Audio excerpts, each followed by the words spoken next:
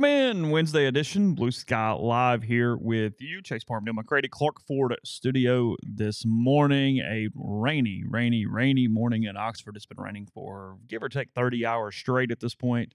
I don't know what our precipitation total was yesterday. I saw Tupelo was up around three and a half inches yesterday. Their uh, record for uh, that day. I think that was around the airport. And more coming today and tomorrow. We just got done with the show yesterday when they announced the uh, the postponement of Ole Miss and Murray State last night at uh, Swayze Field. They have not given a date for that makeup, and I I have not asked anyone. I've spent zero seconds on it. My guess is it is somewhat dependent on those two teams' situations moving forward as to the uh, urgency or likelihood of that game being played. Frankly, uh, not a bad game for their team right now. As Murray State's RPI around fifty nine going into the uh, the weekend. And the Rebels still with a pretty high RPI. I mean, I get the record is the record, and that's what matters. But almost top 30 RPI right now, and around 28 going into uh, the Mississippi State series here this weekend. So we will uh, we'll talk Lane Kiffin's conversation with the media yesterday. Joey Chestnut going to be in town Saturday. Yep. We'll yep. hit that a little bit. And more coming up on today's show. A show brought to you every day by all Blue Sky locations throughout Mississippi. That includes here with the uh, the Oxford Exxon. That is uh, the lunch specials that are five sixty nine, couple sides bread, any size fountain drink throughout the state. Everything from spaghetti to red beans and rice to meatloaf to whatever you'd like every single week. Again, great desserts, side items, and more clean convenience stores, fountain drinks for cheap, and all the other goodies there with Blue Sky locations throughout Mississippi. And again, coming to you from the Clark Ford studio. We are Clark Ford's in Amory, Mississippi, 662 257 1900 is the number. Call it, ask for Corey Clark. Tell Corey what Ford product you're looking for. He'll send you a quote within 15 minutes in business hours. Right to the bottom line, no hassle, no haggle. You get your quote. The rest is up to you. Shop the quote around, or you can do what I've done, what I recommend that you do, and that's hop into a Clark Ford today, 662 257 1900. 100 guests join on the Campbell Clinic hotline. The Campbell Clinic is in Oxford now, 2608 South Lamar Boulevard, Suite 102, just across the street from the cottages at Hooper Hollow. The Campbell Clinic provides full service orthopedic care, everything from sports medicine to foot and ankle surgery to spine and total joint care, pediatric orthopedics, physical therapy, and more. To book an appointment, go to Campbell clinicoxford.com or call 901-759-3111. Walk-ins always welcome at the Campbell Clinic, Monday through Friday, 7.30 a.m. to 4 p.m. I'm going to get over into the Lane Kiffin stuff in a minute, but it, it, what has been the reaction? I saw them a couple posts this morning, people being a little bit negative toward it. Am, am I crazy that I really like uh, Wembanyama's like alien looking logo thing for his his his brand coming out? Did you see this? I haven't seen it. Yeah, yeah. It's like it, it's good. Like I see people kind of like whatever about it, but a lot of those basketball shoe logos are not very good. Yeah. That one's that one's pretty good. Yeah, if you haven't seen it, that's yeah, have to check that out. Yeah, yeah. They play um they play Thunder tonight. Do they? Yeah. Chet versus Wembanyama. Wembanyama. I'm still struggling. Yeah, another another media narrative that is maddening. They're not the same player, but the media wants them to be exactly apples versus apples. That'll pass in a year. Oh, I don't know. I have no faith in our field. You you have a lot more faith in our field than I do. I think our field is a complete collection of boon, buffoons. But of the people that you actually want to focus on, they're not doing it. It's that it gets loud. Yeah, yeah it's in it's, the in the middle. It's a, a loud, just click click monsters. They're totally different players, and they're playing on completely different teams. I mean, one team has won 55 games and is fighting for the one seed in the West. The other team is in very much beginning stages of a complete rebuild around him. I mean, there's only only one player. Are they the playing at all or anything? Oh no, no, no, oh, no. Okay, no, no, no. I mean, Sochan is the one guy that they'll probably you can almost assuredly will will be part of the Wembanyama rebuild in San Antonio, as opposed to what's happening. And this, I'm not saying one's right or wrong. I mean, one's just further along. The the Thunder have an All NBA player, and probably a second one that is in the mix in Jalen Williams. I mean, Chet's playing on a completely different team for completely different stakes on a completely different timetable than Wembanyama. It's just, but no, we must compare them right against each other like a tape measure for a boxing match. Drives me kind of nuts.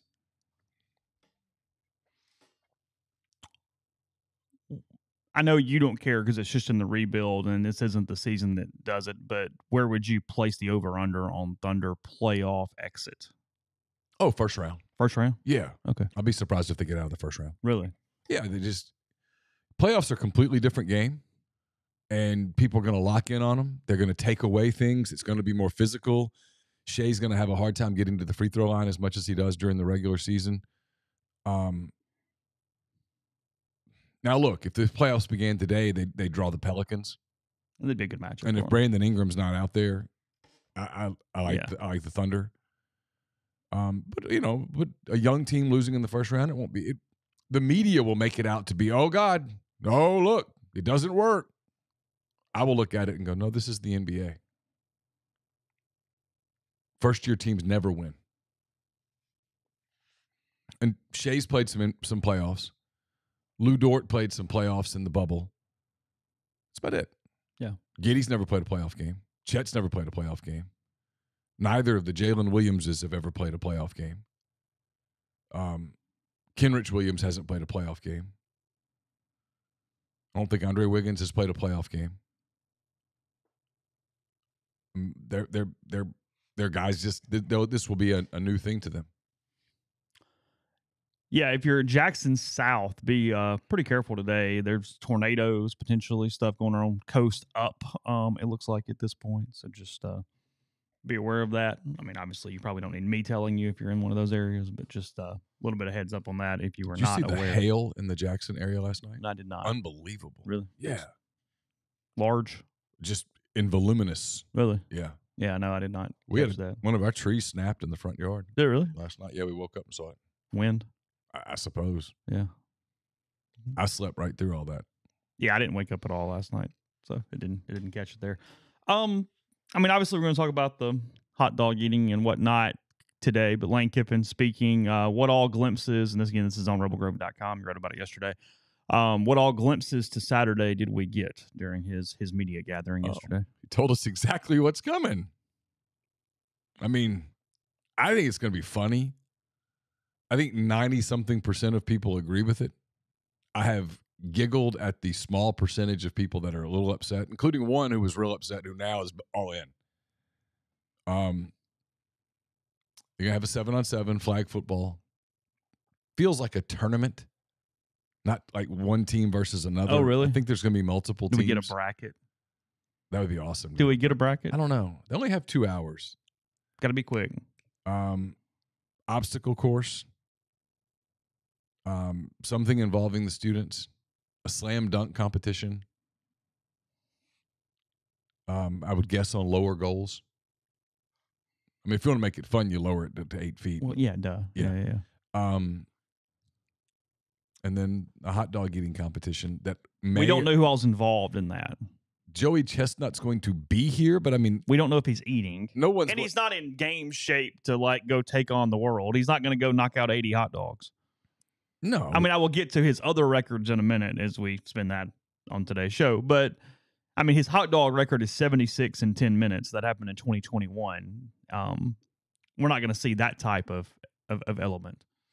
I mean, how many how many students would it take to beat Joey Chestnut in a four minute hot dog competition? I mean, if he's trying, he could eat thirty in four minutes. Yeah, Could you find enough? Ki- ki- enough people to eat one and a seven? half per minute. Yeah, I don't know. I don't know. Maybe that's the way you do it. I, I beats me. Maybe he's just going to come out and judge it and wave and They have a TV window from three to five. I'm guessing they're done at five.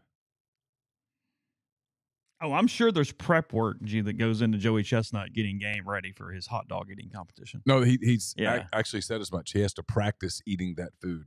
Yeah. I've read some stuff about him. Uh, the Yeah, I've, I've deep dove into that occasionally. he has to prepare for a competition by eating that food. Then he does it, and then he has to find a way to lose the weight and get Mhm. back to normal without completely over. They do a ton of exercise to move food through. yes, without They- completely disrupting his digestive system. Right. Then it comes down to form. You're dunking the buns in the water and the whole deal, and there's a rhythm to it.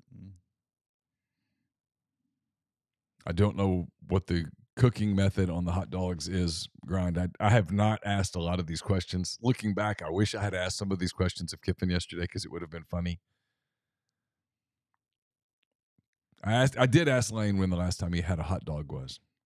He said it's been a minute. He said it's been since before the whole red meat thing. Uh huh. Then he said he might have a relapse. We all had a good kick out of that. Yeah, I mean, there's. I would assume the three most famous eaters, quote, in the world are Kobayashi, Chestnut, who's, as Lane said, the goat of goats, and Matt Stonie probably would be the three that I'd probably go with there. Uh, I don't know how old It was in my story yesterday. I, I wrote it. I think he's 40. he is. Forty years old. Yeah. He's from Westfield, Indiana, and he weighs 230 pounds. yeah. Grew up in California, but lives in Indiana. Okay. Mm-hmm.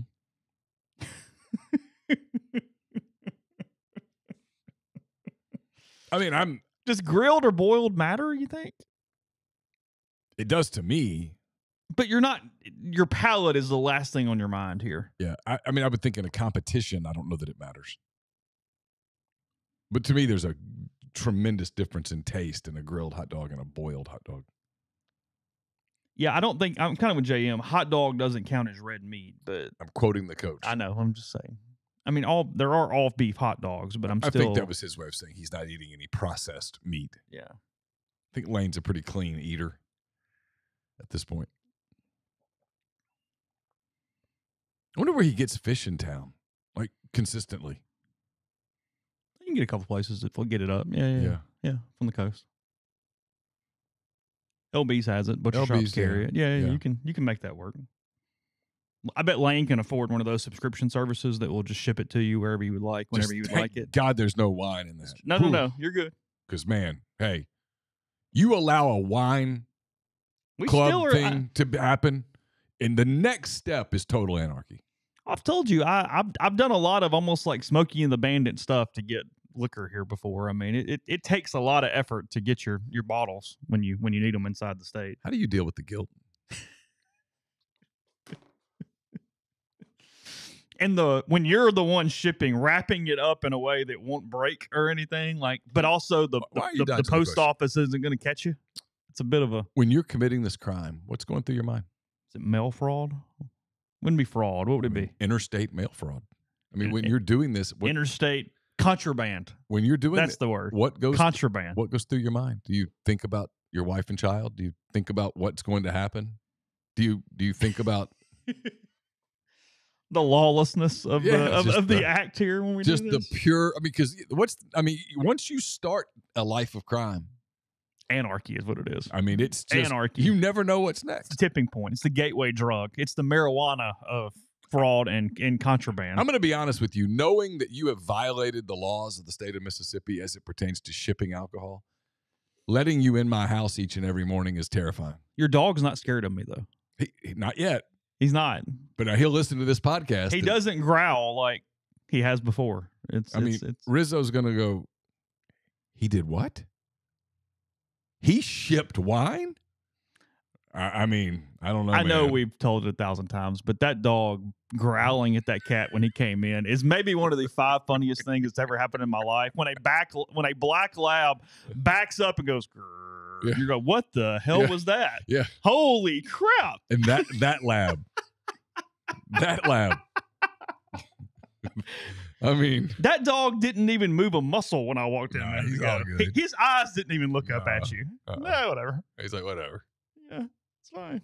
But he walked in and he's like, "Whoa, whoa, Yeah, yeah. there's a vibe here. I don't like it." He did two steps back and went. Whoa. Yeah, he's he's lived six and a half years, and that is the only time in his entire life that he has kind of growled.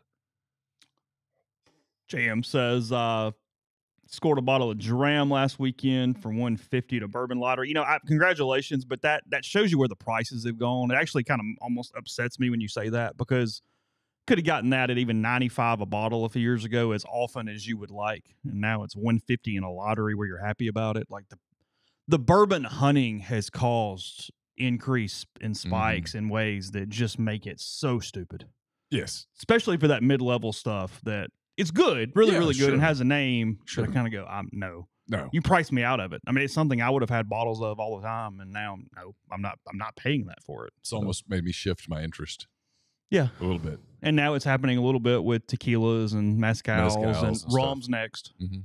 Rum is next. Yep, yep. And then we'll see where it where it goes from there. But yeah, just yeah, that's a whole different deal. But so all right. We got all those things. Lane is asking students to show. Some will. You're not going to sell out student section for a spring game. It just is what it is. Well, they're clearly involving the fraternities and sororities to try to get the. It's smart. because you can It's probably smart. you can probably get the freshmen in the sororities and fraternities to show. I mean, it's free, whatever. I- I'm I'm not going to be the guy that goes, "This failed." No, it's already succeeded. I don't care what happens on Saturday. It has. It has succeeded. I mean, I try not to even go all nationally, he's fanboy here. getting more. He's getting more pub than him. Goes, hey, we're going to play a spring game on Saturday. I give him. I, I try not to go fanboy because it's it's my job to be objective. Finally, a coach said it out loud. He did. He gave the quote yesterday. He said it out loud. Nothing good comes out of those games. Nothing productive. There's nothing to analyze. You're not doing anything. Frankly, it's just a waste of. I mean, I don't remember his exact words. I think if you think outside of the box, traditional way of doing things, which is well known, we do, and I think over time the spring game really isn't of much value. Rare, very rarely do they run more than a few types of plays and schemes. So I don't know that traditional spring game really gets you very much from an evaluation standpoint. It was just kind of done because it used to be done that way. We'll Mhm. see what this is like. There you go. Thank you. They would always say that privately, but no coach wanted to say that out loud. And it always kind of drove me a little crazy. Like, I can remember covering Auburn, and Tommy Tuberville would come over and go, "Hey, if you guys have any bets on the MVP, go with this obscure wide receiver because he's about to catch the ball twenty times." And then he did. And you're like, that dude won't play at all in the fall. Why, why are we here? Hiram White won at least one spring game MVP, maybe two during his career. I do recall that. So it, back in the day. and so unless you, everyone's in on the joke, and that was the thing, most of the fans weren't in on the joke. Mm-hmm. because they're out of you know the, and then some of the media including some of the me, quote media end quote who will now go this is the greatest idea in the world they were the ones by it. they were the ones that were going to take a spring game and turn it into 10 different podcasts or content items about all the all the clues that we got from you have game. again, unless you did the draft, and even so, when you do a traditional spring game, you were literally putting on television some semblance of players running out first versus running out second before the portal opens in a couple days. literally Period. literally 48 hours Yes. No. No. No. No. there's no. no. no, never. reason there's no reason to do it Why do that to yourself? and then why put it on the field why put anything on film Yeah. It's being. It's going to be streamed. It's on TV. So instead, put a little basketball thing out there and dunk a little bit and Be done in two hours. run an obstacle course. Let the KDs battle the Tri Delts and have fun. Let it be. Is there a trophy? I don't know. I'm sure they're looking at Hart and them and going, hey, tell me when you're off because when you're off, we're out of here. Yeah. Give me a signal. Yeah. We good? Yeah. Y- E ESPN happy? Y'all All got right. your two hours? Okay. Yeah. Peace out. Blow the whistle. Peace. Is it bad that I dread the post thing press conference when people say, what'd you get out of the spring after today? Hey, I know they weren't in pads, coach, but you know, wide receivers running around, juice catching some balls. Can you kind of take me through what you saw from them out there today? you know I'm right. Oh, It's coming. Believe me, I've been at every one of the press conferences. It's coming.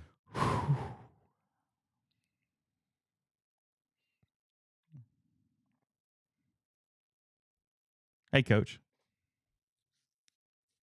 What'd you think of your offensive line this spring? There you go. That's a good one. I mean, Lane basically said it. Camp's going to be different because in camp, when you show up, you're getting ready for a game, getting ready for a season, a season that could be 16 games long. You have to have a plan. He said it. NFL doesn't. NFL doesn't play spring games, and they don't. NFL doesn't tackle in the spring. I don't think they've tackled at all this this spring. Yeah. In, in fact, I, I don't think they've done any. Even in the scrimmages, it's been thump. it's been. I don't even think it's wrap up. I mean, they're going to play flag football Saturday. It's cool. I'm good. You don't play a game for. Is it two hand touch or is it literally flag? I think they're putting flags on. Okay.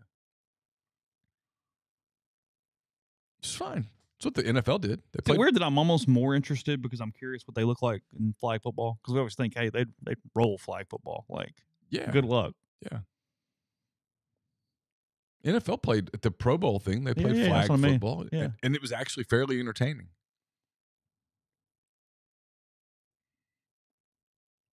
Because I mean, you are getting elite athleticism out on the field, moving left, right, and all that stuff. It's kind of like I mean, it's for years saying, hey, if we care, and I mean this in a primary the way we do about football, soccer. I mean, you don't think Reggie Bush would be good on soccer field? Yeah, he would run all over everybody. Oh, he'd be I mean, amazing, especially if he'd had training for what I years mean. and years and had you know the ball skills. Yeah, but his athleticism, yeah, plenty. sure. So, all right, we'll get into some more Joey Chestnut and uh, and more coming up in, in a second. First, uh, if you eat a bunch of hot dogs, you might need some antacids, some different things. G and M Pharmacy in Oxford will help you out with that. They are on South Lamar in Oxford. That's 662-236-2222. Also in Holly Springs with Tyson Drugs. They deliver locally in the Oxford area and they offer MedSync. If your prescriptions the same day each month, take care of you in that way. It's also easy to transfer your medications. Make one phone call they take care of the rest. So again, whether that's in Holly Springs with Tyson Drugs or G and M in Oxford, that's 662-236-2222.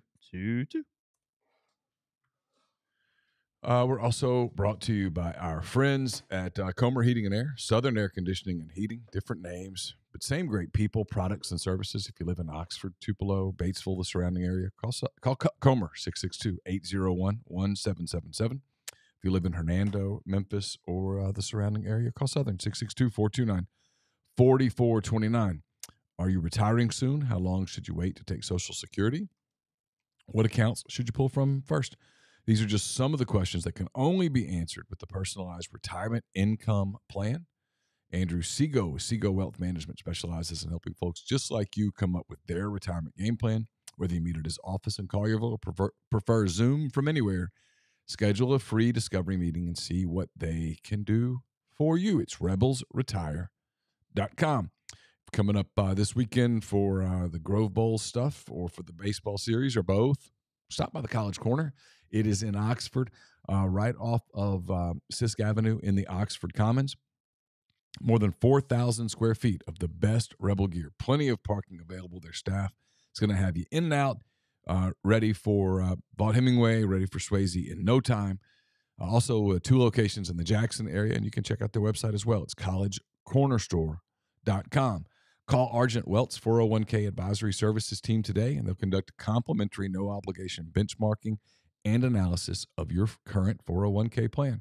Mention that you heard about Argent Wealth on the podcast, and you'll get 10% off of your first year's fees. We're also brought to you by John Edwards, Regency Travel Incorporated in Memphis. Uh, get in touch with John if you're trying to make a special trip, one that creates a lifetime of unique memories. Just give him some parameters, give him a budget that's really important, and then let him uh, give you some options that you're probably not going to find on your own. Right, and no, you don't have to live in or near Memphis to take advantage of his services. 901 494 3387 or send him an email, jedwards at regencytravel.net. So I'll get to uh get to Chestnut in a uh, in a second. Did you see Florida baseball lost by 15 last night? I did see that actually. Believe it or not, I saw that one. Florida State 19 to 4 over the Gators last night after Florida gets swept at Missouri over the weekend. Missouri last night losing to SIU Edwardsville, by the way, in a uh, in a midweek tilt there in Columbia. Kevin O'Sullivan's not really the guy with the demeanor either to like calm you down and make sure you know it's a marathon. Um, you want to pick an unravel team potentially. His personality is not fit for reclamation projects in Gainesville. It's a little weird. No, they're officially weird. Because if you look around the league, like the teams that I think we view as contenders right now, Mm-hmm. They sort of take care of business for the most part. They do. Midweek kind of stuff, you know? Yeah. Methodical, sort of just A and M, Arkansas, Yeah, Tennessee. they just kind of get it done, right? You don't even Kentucky think. lost to Samford last night. Yeah, or whatever. but- it was in Birmingham, by the way. They traveled. Oh, Where do they play this weekend? That's what I was looking. They've got to be over there somewhere. Why else in the world would you do that? Maybe they're in Auburn or in Tuscaloosa. No, Arkansas's in Tuscaloosa, right? They were at Auburn this weekend. Okay, it makes Yeah. And on Thursday. So yeah, they just It's played a game. Scheduling that made sense. It was How about that? Yeah. Crazy. But I mean, Florida's weird. I no longer think of Florida as this title contender. Maybe they will be, but as of this moment, I'm, I, I'm They not. don't have pitching. I'm not willing to bet on that. They're schizophrenic mentally. And they still have some weird series left. Like, and, I mean, there's no guarantee that they roll up 14 wins. South Carolina got a nice win, uh, neutral site against North Carolina and Charlotte last night. And then everybody else pretty much took care of business. LSU 16 nothing over McNeese last night at the box. State's game with UAB canceled as well as Ole Miss's game with uh, Murray State. So neither team with a midweek now heading into this weekend in Oxford. Just Would have been very difficult to play a baseball game last night. South. Owl won 5 4 in Tuscaloosa last night, too. Okay. Okay. It's fine. Whatever. South Owl 18 and 15 overall. Not like it's a good set of Jaguars. But what LSU do yesterday? 16 nothing over McNeese State you go. yesterday. They took care of business. Back what are you on- talking about? Back, on back track, on baby. track, ready to go. Everybody at the box is cool. They're not worried about it. Uh, was Jeff Drum- Drummond's report correct yesterday about Dan Hurley? I did not see his report. Jeff Drummond, uh, rivals.com, reporting that Kentucky floated an offer to Dan Hurley yesterday for 11 million a year. Okay, I'd heard. buy That, it? Well, I'd heard that they were willing to go as high as 12 for Okay. Hurley. Yeah. He makes about five right now in Storrs. Kentucky is prepared to. I mean, I'm sorry, Connecticut is prepared to get him to eight or nine, and the consensus is that he will stay. Yeah, sure. But yeah, Because if I could have nine in Storrs or 11 in Lexington, I've won twice in Storrs. I'm good for a while. Lexington, they expect me to do that now. now it'd be cheaper in Lexington. Cost of living get you in, in Hartford a little bit. Sure, I'm staying at Storrs. Okay. I'll make it work with a, with nine million. We'll we'll, We'll figure it figure out. Figure it out somehow, some way. We'll cut back somewhere. Honey, please tell the kids to take smaller showers, Yeah, yeah. quicker showers. The hot water bill's a little high. No, you'll you'll be okay. it appears, and this is just kind of coming from Jeff and from, uh, yeah, I mean, I, I agree with this. My one problem with this is UConn's a better job. It just is right now. I mean, I, period. So, anyway, but yeah, Jeff Drummond saying that there seems to be a lot of, lot, a lot, a lot of buzz around Scott Drew to Kentucky the last twelve hours. Yeah. That that that's the name that I believe the most that has been getting the most smoke. We'll put it that way. His decision is an interesting one. He's been at Baylor a long time. It's his job. They'll never fire him. Makes a lot of money. Excuse me. Rebuilt it from literally the ashes. It's his. And there's Kentucky. Now he's a weird coach, not a great postseason coach. Kind of got a little Rick Barnes to him. He got a title, got a title, got a title. Can't take it away. no, he has. Yeah, sure. But it's weird. Got a strange tenure. They're good, but they and maybe you can at Baylor. I don't know, but he hadn't taken next. Yeah. You're not going. Hey, North Carolina, Connecticut, Baylor. Who else is on the UK list these days? They're still doing the Billy Donovan thing? Well, they want to make him say no. Bulls last night blew a three on nothing break. By the way, did you see that highlight? Uh, I did not. Yeah. I watched. Three on zero and didn't score. Oh, wow. I did watch a good bit of it. They fought each other basically for the ball and didn't score. That happens. Um, their tier two, according to Matt Jones, was Beard and Shaka and somebody else. I forget who else was on that. Has Todd Golden's name come up for that job? Totally serious. Is he going to be okay in Gainesville? I don't know. I think he's an elite coach. All jokes aside. Yeah, sure. It's Kentucky's not hiring Todd Golden. They can't be okay with themselves doing that. Cal puts out his uh, three and a half minute goodbye video yesterday. Puts it out first in like standard definition, grainy film, and then replaces it about ten minutes later with an HD version. Um, flip phone to actual camera there. Um, Is that what happened? I don't know, Yeah. but it was grainy as hell when I turned it on, and it was deleted. And then we came back a minute later. Did it was, again. It was good. Yeah. Um. Said it was just time for a new voice in Lexington. He's right. Really enjoyed their time there. It's been great. I'm sure they did. No, he he, he was. It frankly was not overproduced, which I appreciated. Like he even stumbled through some words, and they just let him Mhm. talk. It wasn't. Yeah. that was good. Yeah, I thought given the whole situation, it was as fine as anything could have been. Mitch Barnhart better get this damn thing right. But He wants to keep coaching. And he said as that. much. He said it. You Yeah. know, referred to Kentucky as the bluest of blue, hmm which it is, not wrong, which is a positive and a negative. and said you can stay someplace too long, which is true. What do you tell your kids all the time when they go to a friend's house? Don't overstay your welcome. Don't overstay your welcome. He probably overstayed his welcome. He has said that. Yeah. Yeah. So it'll be interesting to see what he does at a, at a new place, which I am hearing will happen today. This is supposedly a 6 p.m. press yeah, conference. already some signage being put up around the campus in the last 12, 18 hours, something like that. It's quite the buzz there, Well, to say the That's least. fair. Yeah. Sometimes, and I know this is not what we do, sometimes everybody wins. Yeah. And sometimes everybody loses. There's a scenario where it doesn't work either place. And we don't know the answer to that yet. No. Cal may win or he may lose. Who won? Who lost? I don't know. Right now, everyone's undefeated, and no one's won anything. Let's why don't, There's a big carousel with this. why don't we wait and see? the teams involved in this, and we don't know what scale of winner and loser. Arkansas, Kentucky, whoever the hell hires Kentucky's school, or the Kentucky hires their coach's school, Ole Miss, Chris Beard. All those are in a big pile. We'll see who wins next year, and the next year, and the next year. sure. I don't know. Arkansas may flame out and they might win the national title in two years. I don't know. I mean, it- me. if the money rumors, and I use the word rumor, capitalized, italicized, bolded, underlined, if the rumor is true, man, it's gonna be fascinating to see what they put together with that amount of money. A bunch of freshmen who don't play defense. Because that is, year. boy, that'll be a, still a ton of them. Because wow, I don't know what the going rate on a five star is. Mhm. But- I got a feeling like Flagg got a good bit of cash. Yeah, he's different. Duke's really good next year. I mean, that dude. He's he's special.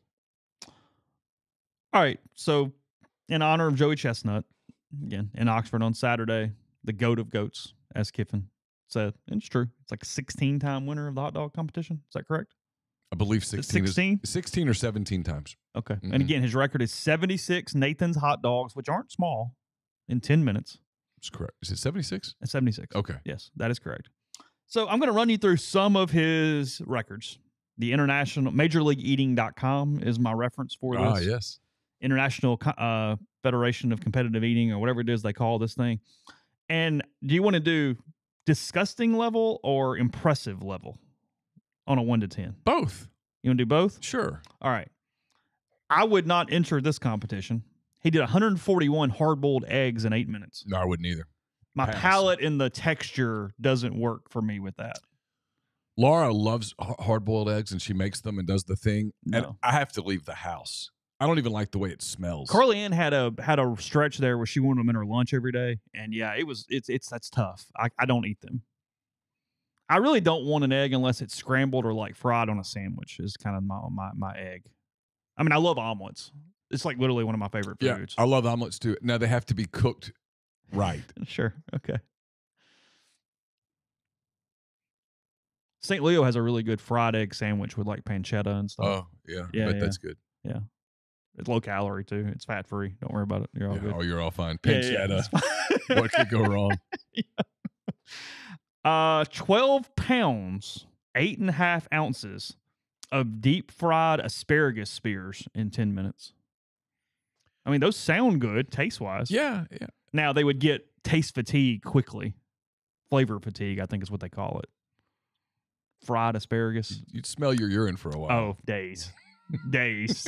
I mean, pungent. Yeah, I, I, that's impressive. Not disgusting, but impressive. On an impressive scale, that's that's way up there. That's that's commitment. 45 pulled pork sandwiches in 10 minutes. Wow. Like how big? It's got to be sliders, but either way, still yeah, I don't call it whatever the hell you want to call ten it. minutes. Pulled pork sliders. How many do you think you could eat? 12, 15? Yeah, sure. Yeah. I mean, more than one a minute. Yeah. More than two a minute would be pushing it probably. You'd start to feel it. At the beginning, you could. yeah. You got to eat as many as for any of these. You got to eat as many as you can in like five minutes. Because you're gonna get about five minutes before your body goes, "Whoa, what the hell are you doing?" Wait, what, what's up? What's up here? Yeah, and then after that, it's gonna go, "Woo, stop," Yeah, and you're gonna throw up. for sure. But you got five minutes. Taco Bell, fifty-three soft beef tacos, ten minutes. Wow. When was the last time you had Taco Bell? Oh, a while. Because I'll be honest, like I don't drink much, and I don't know the last time I've had Taco Bell sober. So I mean, I don't think I've had Taco Bell in 17 years. I think the last time I had it was 2007. really. Yeah. So even two years before you lost the weight. Yeah. That's interesting. Yeah. I had already started realizing that stuff like that was bad. Really? Yeah. Okay. Again, 76 Nathan's hot dogs, 10 minutes, July 4, 2021. Um long form, I guess okay, I guess the time is long. Chicken wings, 182 wings in 30 minutes. That is wild. 182 and I wonder whether it's the the full wing or just the drummy or, Yeah, or the- I, I'm sure there's probably some clarification somewhere. if you told me to, to- uh, that I had to try one, that would be my The wings. the competition. I love wings. Yeah, because I was I, I answered that in our question today this morning. I think tacos or chicken nuggets would be what I chose. Yeah.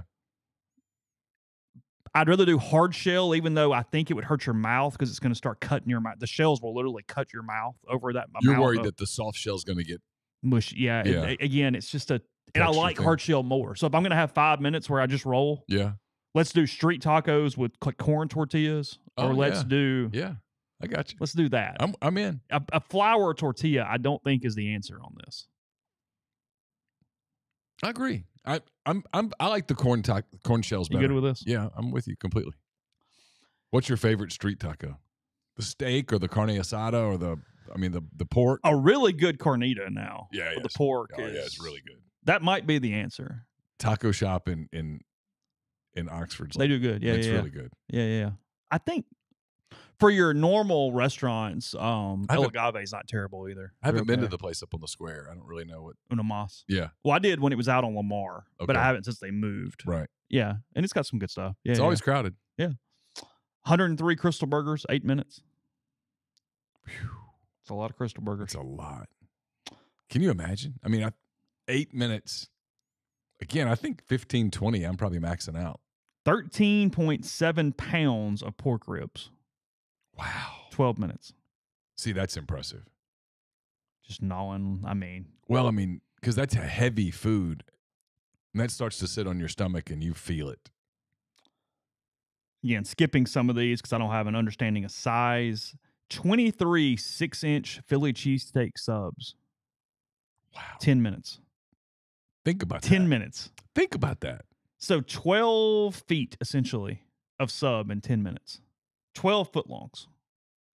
Like Subway came in and lined up 12 of those bad boys and you got 10 minutes. And that's again, that's steak and the peppers and the and the cheese and stuff. That's that sits on you quickly.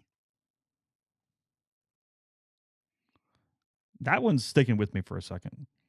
Uh, traditional three inch tortilla tacos, eight minutes, 126 of them. So that's like a street type taco, I assume. 126 in Yeah. eight minutes. Yeah, 126. 5.9 pounds of funnel cake. Talk about flavor fatigue. The sweetness of that Oh, funnel yeah. cake would, That'd, would, would get it'd wear you out. 36 ounce fish tacos. Because six ounces ain't light. That's a big taco. That is a lot. 30 of them in five minutes. So six a minute of a six ounce taco. So that's pounds in five minutes. I love fish tacos. I'm starting to get hungry for tacos at this point. Really? Yeah, it's 8:49 in the morning. We We'll- can line them up tomorrow on the show for you and let you see how many you can do in 10 minutes. It's a Thursday that we're taping Jeffrey, so that's out. Uh, hand raise, guys. hey, yeah. fire her up the stream. We'll see what happens. 14 and a half pounds of burrito in 10 minutes. Whoa. Now I'm sick. Th- In- that that's the that's the 10 on the level of I'm I'm getting sick thinking about it. Say that again. 14 and a half pounds of burrito in 10 minutes. Like one pound of burrito, and I'm I'm done for the day. 10 minutes. 14 and a half pounds in 10 minutes? Yes. Does he even chew? I mean, I'm sure there's video online if you'd like to see it. I don't know the answer to that. Rizzo could do that. Fish, uh, shrimp, seven pounds in eight minutes of shrimp. It's a lot of shrimp. It's a lot of shrimp. That's Hun- impressive. uh, 102 tamales in 12 minutes. wow. 47 grilled cheeses in 10 minutes. 47 grilled cheeses 47. in 10 minutes. That's correct. Like I love grilled cheese. I couldn't even think about that. Oh, this is a good one because most people will understand the size of this. The Katz's Delicatessen in New York. Yeah. Uh-huh. You know, their big pastrami sandwiches. The seven ounce, so the half, 25 in 10 minutes. Unbelievable. That might be the most impressive, one yet. Because they stack. Oh, it's it's, it's huge. so big. So we're talking about 12 and a half whole in 10 minutes. That, that that's really impressive. 15, 16 ounce goal, bowl, uh, sorry, 15, 16 ounce bowls of gumbo, 1.875 gallons in eight minutes. The right. shoveling technique on that Is is really Are impressive. you are you drinking it almost? I mean, you got to chew a little because it's got sausage and okra and stuff in it, All that stuff in or whatever's in it. Yeah. I don't know, but yeah. St. Elmo shrimp cocktail. He holds the record. Here we go. He has the record. He's an Indiana boy. the hotness of this 18 pounds 9 ounces in 8 minutes your mouth would be on fire Or would it go numb? well i guess you know the little hostess powdered chocolate donuts little donuts that are Yeah. in the package Yeah, yeah. 257 in 6 minutes what's the sugar content of that bad boy How do you not- 257 powdered donuts in 6 minutes the little bitty ones yeah, I'm with Ginger. Ginger says, I don't think y'all could eat nearly as many of these as you think you can. You're, you're probably true I think you're right. Well, it's like when Godfrey did the McDonald's challenge thing on video a couple years ago when everybody was doing that. It was the it was two double cheeseburgers, two double quarter pounders, two quarter pounders, two 10 or 20 piece nuggets, two or four fries, and then four drinks. And you had an hour. Yeah. And I mean, I kind of did the same thing. I'm like, oh, I could do that. I mean, like, come on. And it like 35 minutes, like he started turning green. Like mm-hmm. it, if if it's not something that you do, Yeah. it, it's not good. Like I I- I don't know if I don't remember even remember if he finished it, but I don't, I think he did finish it. but and not in got, the time and period. got sick. Okay, maybe that's the the the deal. But yeah, something like that. Um, nine and a half pounds of whole turkey in ten minutes. Again, I'm scrolling a little now. Um, four point three. This is this is a good one. Four point three three pound apple pies in eight minutes. So 12, 13 pounds of apple pie in eight minutes. That's a pretty good one. That is good. 82 two ounce carnitas tacos in eight minutes. Uh, 81 Eggo waffles in eight minutes. And then last one, cherry pie, eight minutes. 17 and a half pounds No way. of cherry pie in No eight way. minutes. That's incredible. Yeah, the saltine thing in one minute with no water is almost impossible because it becomes mush and cement in your mouth. You can't swallow it without liquid. That's why people failed so much on that because it's incredibly difficult.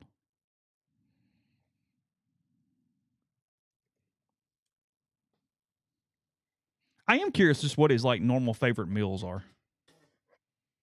Would on a regular Saturday, what do you go to dinner and get? yeah, when because most of those guys, like I, I follow a couple on the internet. I know I'm weird.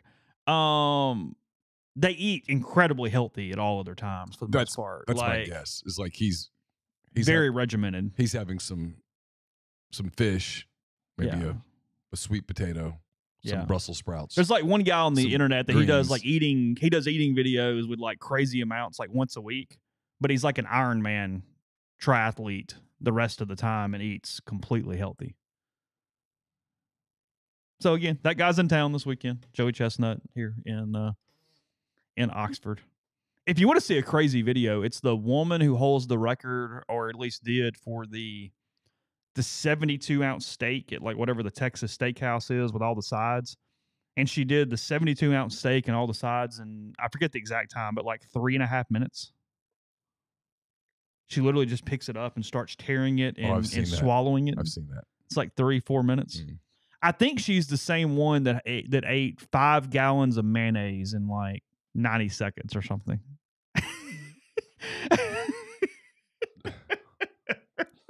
I we mean, found the video of that. you are a criminal. You may find the video.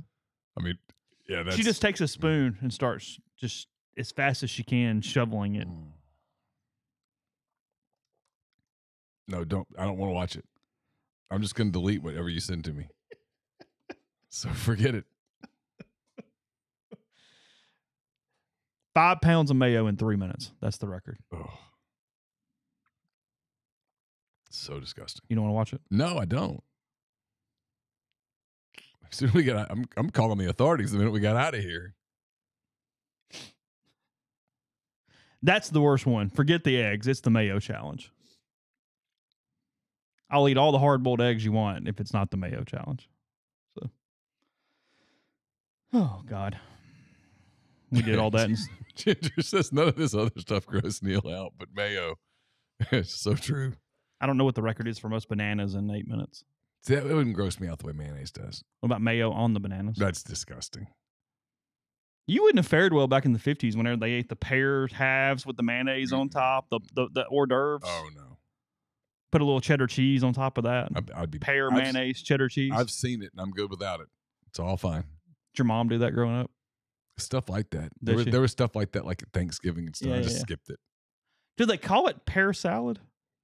We called a lot salad back then that had Yeah. mayo and cheese and all kind of crap to it I'm, now. I'm sure it was called something along those lines. Because you can just now make fun mm. of us for more like calling, you know, taco salad salad when it's got Seven beans thousand and south sour cream. seven thousand fat grams. Yeah, all the. But it's a salad.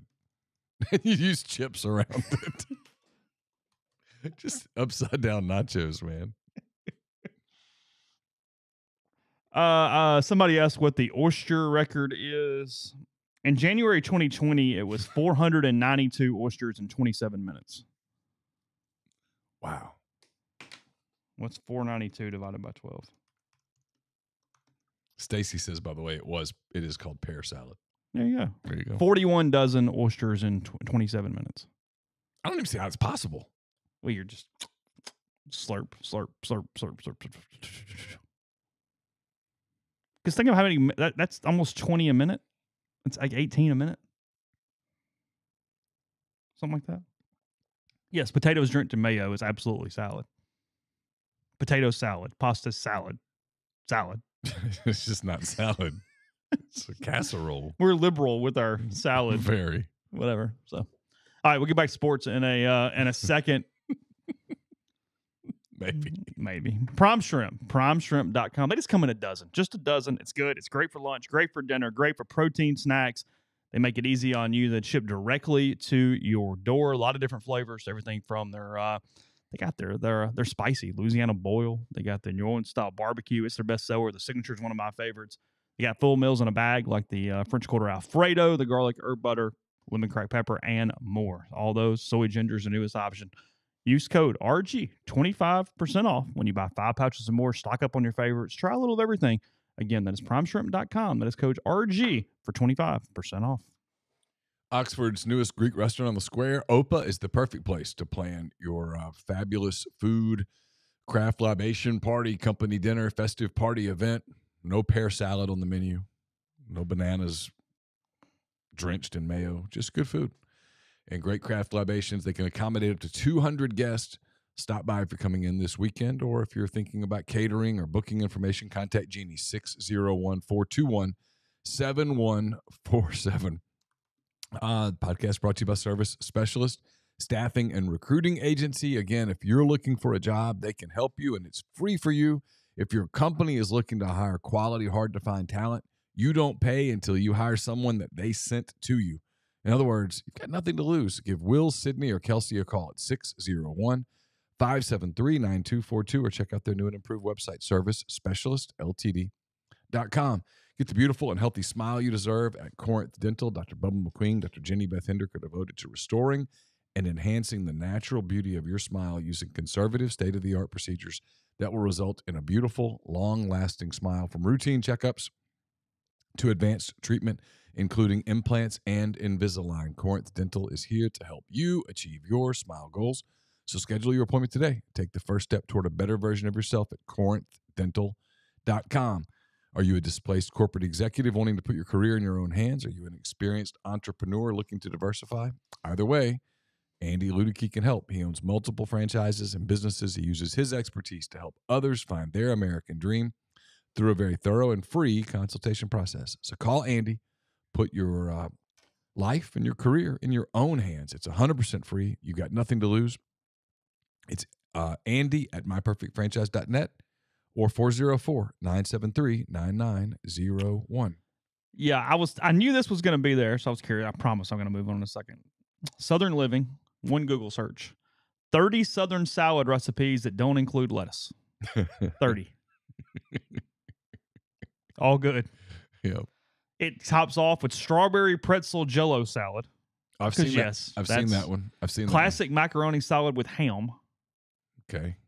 Marinated cucumber, tomato, and onion is a legitimate That's salad. salad. Yeah, that Yeah. counts. Yeah. That's 10 out of 10. Yeah. Now I'm allergic to tomato. It might kill me, but otherwise, that's fresh tomato. I can eat salsa and marinara. Broccoli, grape, and pasta salad. Cranberry fluff salad. Yeah, everybody's had that on their Thanksgiving table at some point in some variation. Sure. My mother was partial to pistachio and uh, Oh. in hers. Okay. Whipped cream corn salad. Ugh. Ugh. Creamy overnight fruit salad that has like the mayonnaise on the fruit. uh, Probably. Uh, uh, deviled egg potato salad. And we're really making it bad now. We're taking potato salad and putting deviled egg- eggs on top of it. Ambrosia is not really a thing anymore in 2024 the way it was back I in the remember day. that being a big thing. Do you really? Yeah, I didn't like it. Pea corn and bacon salad. Hmm. No. Watergate salad back from the What, what was involved in Watergate salad?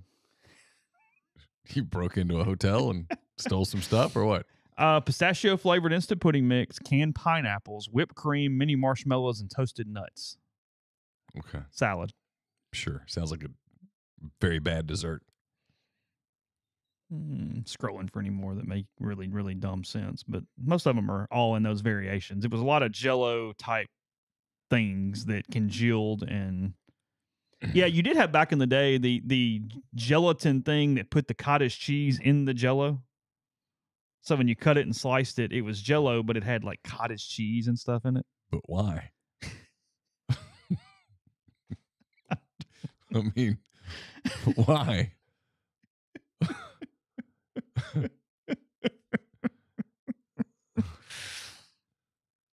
Where do you fall on pear salad is number 30, by the way, our favorite we were just discussing. Okay. Their favorite part of that one is that when you do it the way the recipe calls from back in the day, you put lettuce under the pear salad, but didn't eat the lettuce. You left the lettuce as a garnish on the bottom and just picked up the pear, the cheese, and the ma- mayonnaise and ate it that way. Mm. Where do you fall on cranberry sauce? Uh, I, I'm I'm not a big fan. I don't mind it just kind of straight out of the can. It's fine. But you're, you're okay with the can versus like the homemade where you simmer it down and do the whole deal? whatever. Yeah. You don't like it enough to need that effort. Precisely. Okay. That's the key. Yeah. Okay. What we all knew was We have going. the we have the weird Thanksgiving this year because it's the games in Oxford.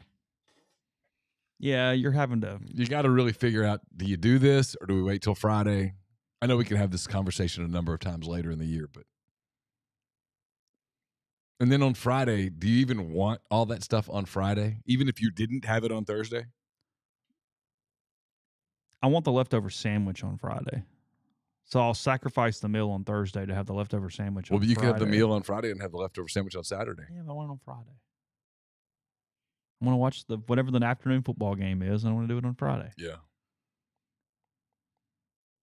You can do Thanksgiving at like eleven. You got plenty of time on Yeah, Thursday you- before. You, do. Just It's not like you're gonna have nine meals and be asleep on the couch at three thirty because you ingested forty eight hundred calories. no, it's true. Just just the whole thing of it. Knowing that, hey, about four o'clock, I got to get in my car and drive to Vaught Hemingway. That's a it's a game changer for Thanksgiving. It is. It is. I'm not complaining. I was really hoping A and M in Texas were going to take that mantle, but I, I don't too. think so. I was too. I think it's continued to be on Thursday, and they're just scared to say it out loud yet. That's what I think. Because they haven't announced it, have No. they? It's like May, but I have a hunch. Yeah. I feel guaranteed that they're going to cancel the USC series, and I feel pretty confident that they're going to play on Thursday. Same. Those are the two things that I feel very good about. Because I've argued. And everybody just kind of looks at me like, Mm, eh, Sorry. get, it, get it off your chest. Yeah.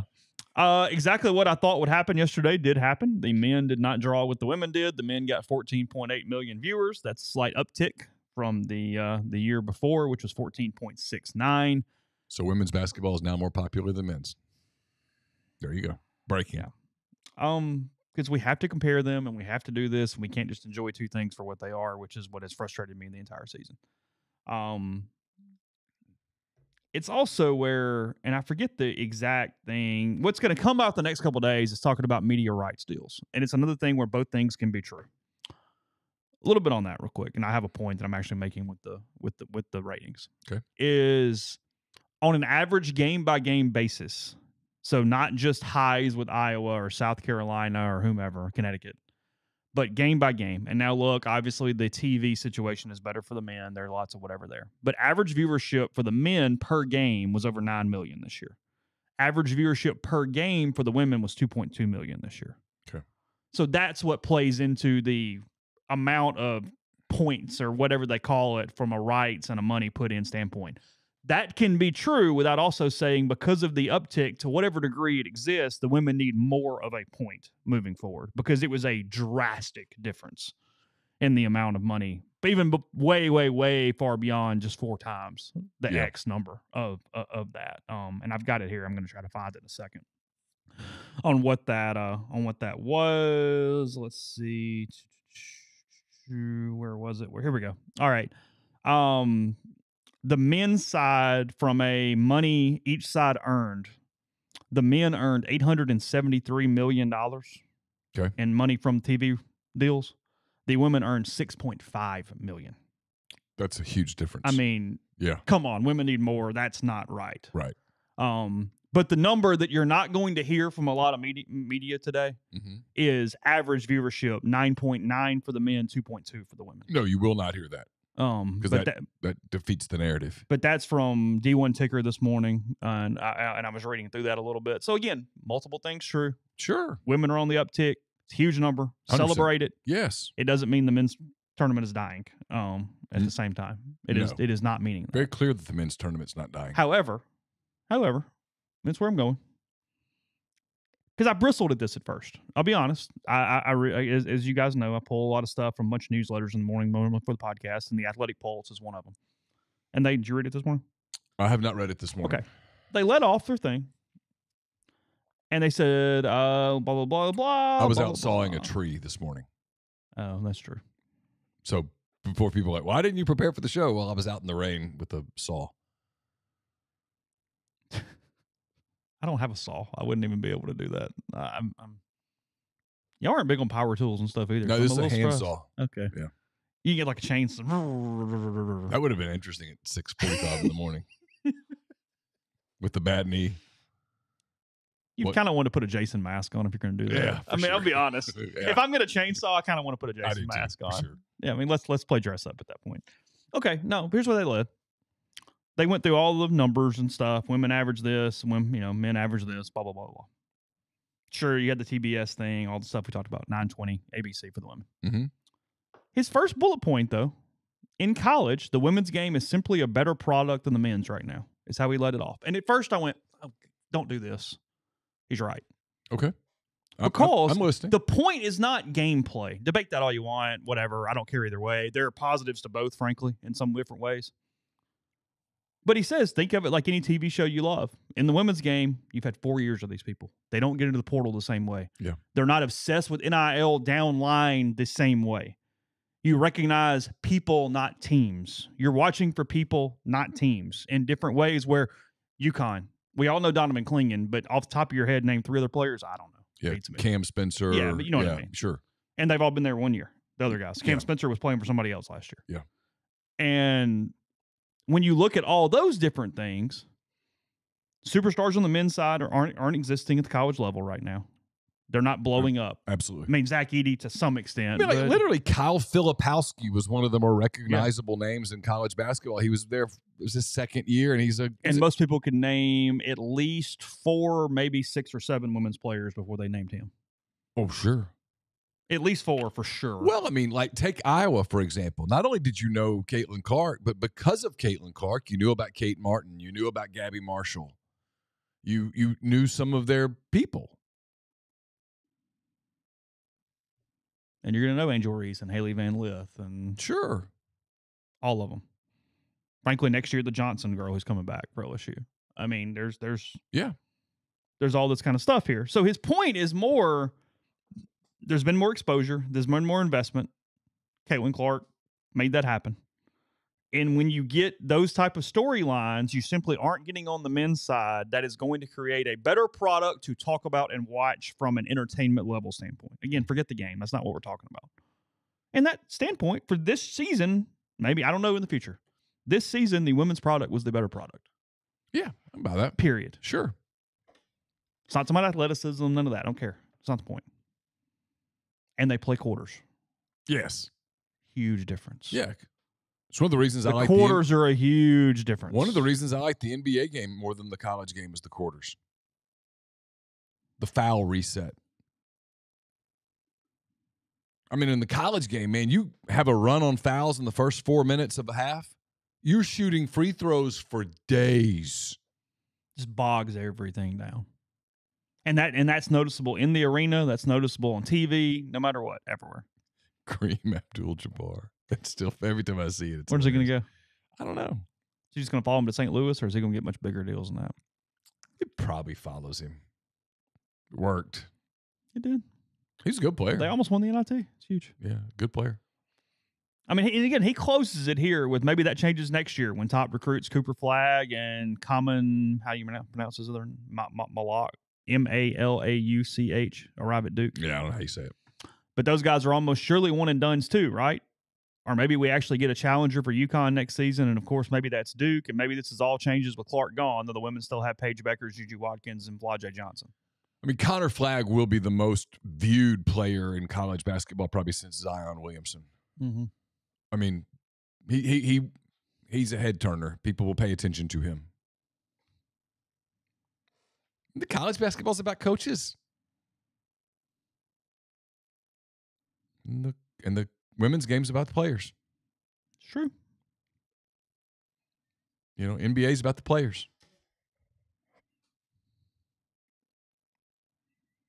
You know, I saw it last night. Basketball and football. There are only 10 active head coaches with a national title in both sports combined. Oh, is that right? Yeah. It's hard to There's win. been that much movement. it's hard to win a title too. Jimbo's gone. Saban's gone. Yeah. 10. That's it. Harbaugh's gone. He's not active anymore. Oh yeah. Yeah. And in basketball, it's actually more than football. Like, because in basketball, you at least get like, you know, Izzo and people that have been doing it for a while that do have a title at some point. But I don't know. I I just I, I read that and went, I don't know, and then I went, no, okay. I I I, I see what you mean, and I think I absolutely agree with you. Orioles are calling uh Holliday up today. Yeah. You interested?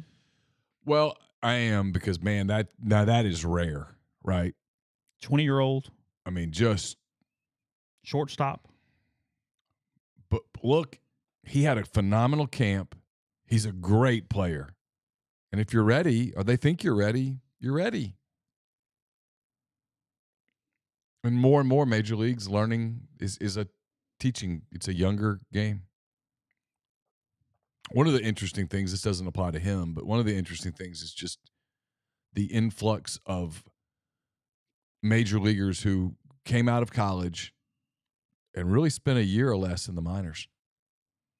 That's true. You know, like there's already talk with the Cubs, for example, that Matt Shaw is going to get called up sooner rather than later. He was playing college baseball a year ago. Just announced, uh, Arkansas has announced Calipari. I actually got the email, and I don't know when I would have been on an Arkansas Razorbacks mailing list. So that tells you the level of downstream that they are sending this out because it's in my email. And again, I don't think I've ever bought a ticket from Arkansas that I can remember off the top of my head. I have bought tickets. Um, so you probably have the email too. Yeah, it, it popped up on my phone. Welcome, Coach Cal. It's official. Naismith Hall of Fame coach John Calipari, who has led six teams to the Final Four, has been named the 14th head coach in men's basketball at Arkansas. Uh, free fan event. All Razorback fans are invited to attend Coach Calipari's welcome ceremony inside Bud Walton Arena Wednesday, April 10th at 6 o'clock Central Time. Yep. Public parking is available and lots, blah, blah, blah. Gates open 5 p.m. via the south entrance, and the graphic includes 2015 Naismith Basketball Hall of Fame inductee, 2012 national champions, and then one of two coaches to lead three different schools to a Final Four. It doesn't say it here, but the other one is Rick Pitino. I would assume. No, he's done, has he been to a third Final Four? Who else would it be? Oh, it didn't even say active though. It just says period. I don't know who's the other one. I don't know. Say it again. The, what, what am I looking One for? of two coaches to lead three different schools to a Final Four.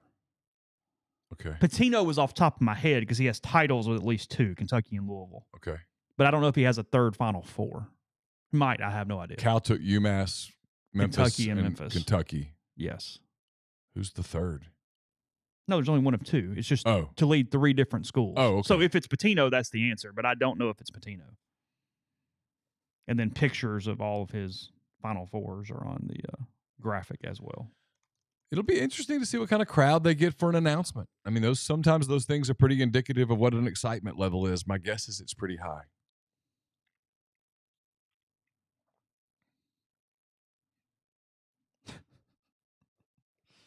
I can't imagine what Matt Jones' call-in show was like last night. I mean, I'm, I'm laughing just Oh, thinking yeah. about it right now. He's getting manna from heaven right now. Just, just, just, Oh, if you just, just the heavens opened up. I thought about Justin Rowland the other day when Rivals had server issues. The day after, they've been waiting for this day forever, and they're down for two hours. The the first emails afternoon. that you would send yeah, to everyone. yeah, just like hey, I hate all of you. Mark. I don't know whether the the kid from Belmont, Dia, is going to be at Ole Miss or not. They're they're in on him, but so are others. Uh, Rick Pitino is the other one in 1986 87. He To took the Providence. Providence. I should remember because Billy Donovan was his was his guard. Oh, really? Yeah, Yeah, to the Final Four in 1987. I remember that. He was at Providence two seasons before taking the Kentucky job. 17 and 14, 25 and 9, NIT semifinal, Final Four. Kentucky, his first two seasons was in it was ineligible for the postseason. Probation? Yeah. 89 to 90. Yeah. That's why when that that team that the Laettner shot, they loved those guys so much because they'd stuck with it through That was in 92, the Elite Eight game. Yeah. That was to get to the Final Four. ninety one or ninety two. Yeah, 92. 29 and 7, 12 and 4 in the SEC. That was John Pelphrey and um, was that Shepard on that team? No idea. Don't know. Aminu Timberlake. Look at you. Yep. Where were you on the Laettner shot? Were you watching? Mm-hmm. Right. Yeah. Oh yeah. Locked in. Duke won the title. Yes. They beat UNLV.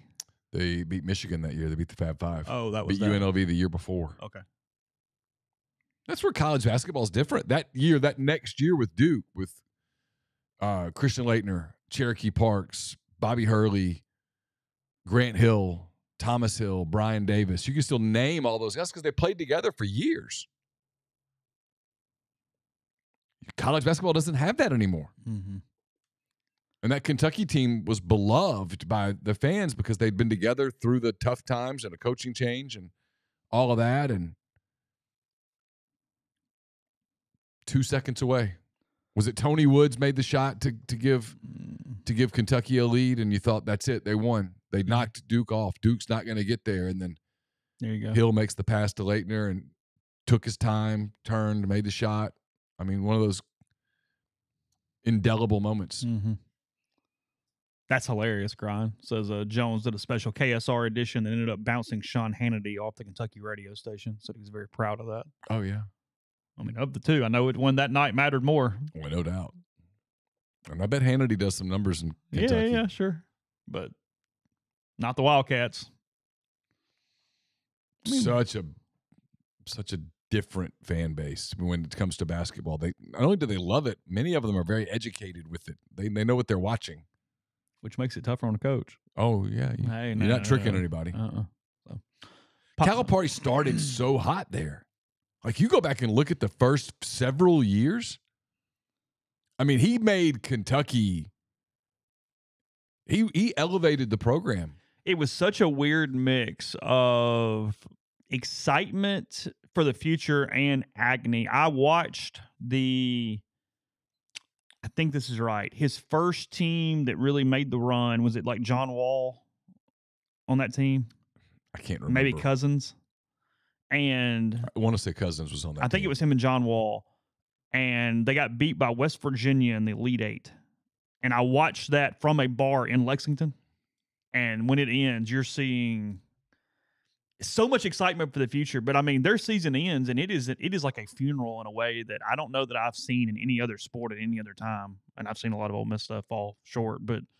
Yeah, watching a Wildcats Elite Eight game in a Lexington bar because Ole Miss was playing Kentucky in baseball that weekend, and I was up, and it was it was pretty nuts. It was So, Sean Woods, by the way. Mark Okay. corrected me, not there Tony. you go. But I knew it was Woods. Made a kind of a runner. He banked it, Mm-hmm. banked it in, and you thought, there it is. The it gods wasn't. want Kentucky to win. and it became the most forgotten shot in NCAA basketball history. Yeah. Did not matter. So, podcast brought to you by Northeast Spark, E NESPARC. Service people across rural communities. Two packages: the Ignite, the 100 Mbps, or the Blaze. That is their one gig option. Your hometown team bringing you world class broadband. That's NESpark.com. 662-238-3159. Phone service, pro controls, network security, wireless mesh extender for those who need the extra help, and more. So again, 662-238-3159. Southern Traditions Farm is a 68 acre, 32 stall upscale equestrian training and boarding facility in Canton, Mississippi. Two sand rings, a grass ring, miles of wooded trails, a lot offered at Southern Traditions, including horseback riding offerings. Uh, from beginner lessons to advanced to competing in nationally recognized competitions. It's also a great venue for uh, corporate outings, reunions, those types of things. So get in touch with them on Facebook or Instagram at Southern Traditions Farm. And we're brought to you by Sotheby's International Realty. I'll have a mailbag to you later today that's brought to you by Art Hayes, Sotheby's International Realty. Are you thinking of making a move? Put the power of Sotheby's International Realty to work for you. As a licensed agent with Sotheby's and a supporter of all things Ole Miss, Art uh, Hayes can help you buy or sell in your hometown or anywhere in the world at no charge to you. Seriously. So call and ask Art how. 612 805 5929 or email him at Arthur, A R T H U R dot Hayes, H A Y S, at lakesmn.com. most random thing I'll I'll tell you today, but I saw this and just found it interesting because it's not something we would be aware of here, at least anywhere near right now. Uh, did you see what they're doing to ban music in Chechnya yesterday? Did not see Did you this. They, this? they went to ban music. Kind of. So last week, the Russian Republic, Chechnya, Mm-hmm. banned music that's too fast or too slow, Oh, decreeing that all music should fit into a tempo ranging from 80 to 116 beats per, per minute. That's slow enough that most Western pop and dance music will be outlawed by the conservative blah blah blah blah whatever there is there in uh, in Chechnya. So it's basically eliminating all of our music from being allowed there to give you an understanding for some of our reference. music does suck. Sure. Yeah. Bobby McFerrin's "Don't Worry, Be Happy." That's too slow, so it's banned. Oh, okay. That's sixty because that's a problem. Yeah. Sixty-nine beats per minute. Lady Gaga's "Bad Romance" too fast. That's one nineteen beats per good song. minute. But Radiohead's "Creep" just right, ninety-two beats per minute there, for an example. So yeah, that's going on in uh, in Chechnya this week. If you're uh, if you're curious. Not headed to Chechnya anytime soon. It's going to be a A lot of countries that you could get to before you Going to be a minute before I get to Chechnya.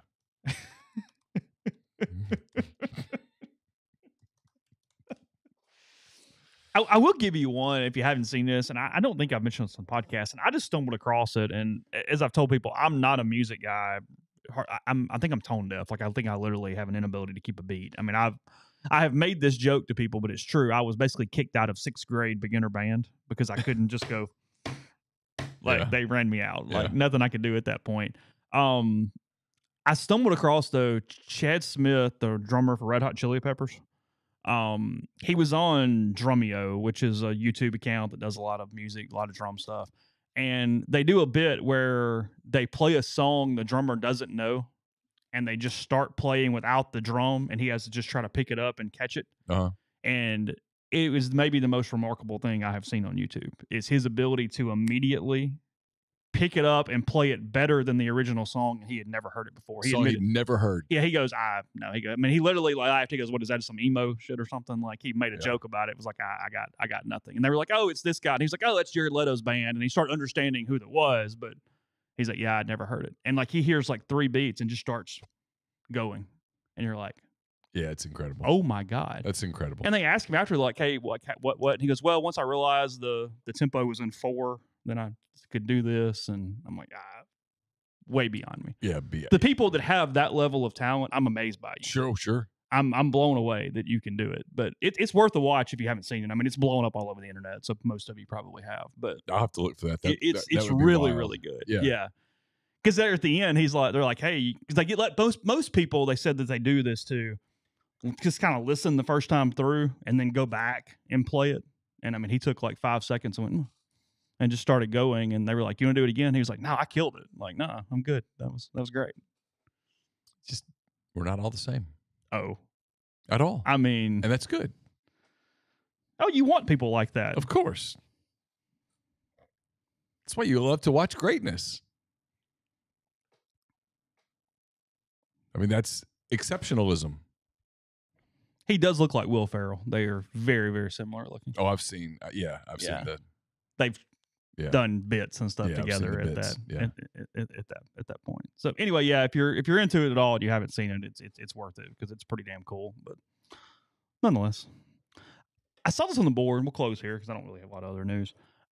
Uh, Mason Nichols story up. Your story from Kiffin yesterday up. Rebel Grove. We'll talk to Jeffrey There's a tomorrow. recruiting recruiting story up as well. Dylan Alfred committed to all Oh, Miss that's right. yesterday. Yeah, you want to break him down real quick before I move on? Uh, really plays football well. A lot of visitors were in town yesterday, or a handful. Handful of, uh, visitors were in town. He's a 2025 wide receiver from Saraland, Alabama. That's what I got.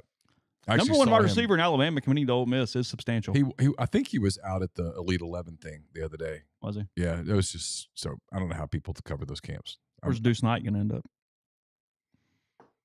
Shh, shh. Shh. Um, Shh. I think Ole Miss is in it. Notre Dame's obviously in it. He's still committed to them. Still, still a little early. You know what is? I mean, in all seriousness, if you're a high school quarterback and you're making a decision, what is your decision based on? Are you trying to play? Are you waiting to see what? quarterback? Are you waiting to see what Ole Miss does to replace Jackson Dart? Do they go into the portal? Do Mhm. they go with one of the young guys? What do one of the young guys look? I don't know. I don't know how Yeah. you could. I don't know how you could really break that down today. Yeah. There's a thread on our board a couple days ago. Uh, I think Sandman started it. Last 20 years, would you pick a different quarterback than Jackson Dart to be the quarterback of this football team? Would you grab one of them? Last Since 2004, years. So you, you couldn't pick Chad and you couldn't pick Corral. Anybody else? Or if you had to pick someone else, who would you pick? and I can't have Kelly. Nope. Masoli. No, Of that list, though. I'm, I'm trying to think. I'm trying to go through All them right, in quickly. my mind. All right, quickly. I can do it. Spurlock, No, Lane, Flat, Schaeffer, Seth Adams, Jevan Snead, uh, Mackey, Stoudt, Brunetti, Masoli, Stanley, Wallace, Patterson, Ta'amu, Plumlee, Dart. I mean, out of that group, Technically Buchanan or Kincaid. I mean, I would I would consider Jevan Snead when he was that there were some moments in 2008 where he was an elite quarterback. Dart's moving better. Yeah. Um That's why I thought about Masoli's ground game, but you got to throw it this year. You got wide receivers. Yeah. You got to throw it. and I'm one of the people that I, I always like to give the proper respect to Bo Wallace. Yeah. I I, I There's an alternate history to his shoulder was just so banged up. yeah. I mean, he, he ran into that linebacker against Tulane, and that was it. I mean, what does a healthy Bo Wallace look like? Because his leadership skills were off the charts. He, uh, his intangibles, his toughness, off the charts. But you know, no, I is there anybody that I know? I, look, and Dart made a big leap from year one to year two in that system. If he makes the same leap from year two to year three, I mean, look out. I think it's Dart in year three. I, I do too. I'm curious to see what they do at running back. I think they're going to add Henry Parrish. Obviously, it's not a, it's not exactly a well kept secret. I think they'll add another running back. I don't know that it's going to be one of these high profile guys because those are expensive. I don't know what kind of funds they have. Am I crazy? I'll take Dart over Corral. No, you're not crazy at all. Yeah. No, I mean, Now Chad, I don't know. You give me Chad in fifteen. Chad's got an Yeah, electric that- arm. Like If I can have fifteen Chad, I'm like I want fifteen Chad. the thing about Dart that gets leadership skills, intelligence, toughness. I think I'd rather have Dart, and I know I'd rather have Dart than Corral. I mean, I'm not. I'm not trying to rip on Matt, but Yeah, I wouldn't sure. even. That's that's a no brainer. Now Lane and Corral's ear. whew, That's a good point. were there no mistakes? Uh huh. Here's your read. Yeah. Yeah, I have until 15 seconds. Hey, Matt, don't do that. Do this. Yeah. Thanks. Hey, look that look that safety off for a second. Do that, and then go back here, and then this guy's gonna come like oh. He called it a cheat code. Yeah, with with, Lane and Matt's ear, that would He's knowledgeable on. I mean, Lane is very aware of what his capabilities are with reading offenses and defenses in real time. He knows that something is not always going to happen for every team. I'm impressed you could do that with the quarterbacks. I could not do that with the ULM quarterbacks from. You couldn't pull that off on 2004 ULM? No, I mean Bubby Brister. But I think Bubby was before that time. Bubby Brister. Mm-hmm. Who was the Monroe quarterback during the Fun Row when they were good for a couple years there? Was it Bonner or something? I can't think of his name. Is that right? I don't know. Bonner sounds like a ULM quarterback, so maybe that's what it was. Yeah, I just can't remember. Okay. When I was a kid, um, who was the quarterback at Louisiana Tech that was so good? He went to play in Canada for a while. Matt Daigle, maybe. Louisiana Tech. They had a quarterback in the early 80s that was like a really good quarterback. He went and played in the CFL for a while. No idea. I don't know. Sorry. Am I wrong on that one? I can't. I, I couldn't tell you who the ULM quarterback was. I grew up cheering for Alabama as a kid. That was my team. Bandwagoner. Just No, my, both my parents have degrees from the I'm University of blaming Alabama. I I was born in Alabama. Spent my early years in Tuscaloosa. until what year? Like I was three.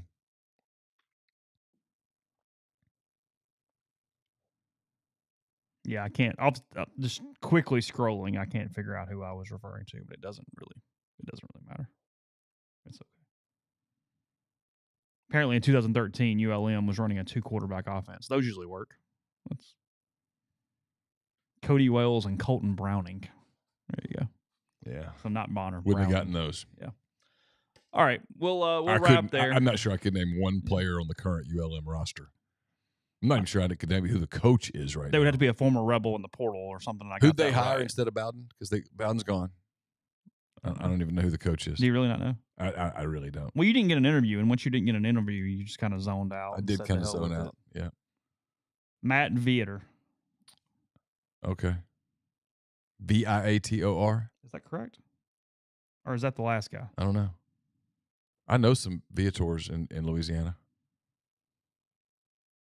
Oh, never mind. No, he's gone. Was that the last guy, maybe? I don't know. Uh, Bryant Vincent named head coach at ULM on December 5th, 2023. Oh, I should have known that. I think he and Siski are buddies. Are they? I think so. Okay. We're fired up to welcome Coach Bryant Vincent to the Warhawk family and lead ULM football, said John Hartwell, athletics director. Warhawk family. Mm-hmm. You remember the Warhawk family? I don't think so. Okay. Not sure how long twenty five dollars keeps you in the in the Brian family. Vincent was a uh, football coach at Spanish Fort back in the day. yeah. So there you go. there you go. Yeah, there you go. All right. Uh, rebelgrove.com. Back with Jeffrey tomorrow. We will talk some, I don't know, some basketball, some football, and then a couple days away from the Grove Bowl games and Mississippi State Ole Miss baseball at Swayze Rebels looking for their first series win against Ole Mississippi State since 2015. Nick Perkins, the hero back in 2015. So it's been a minute, nine years later for that series.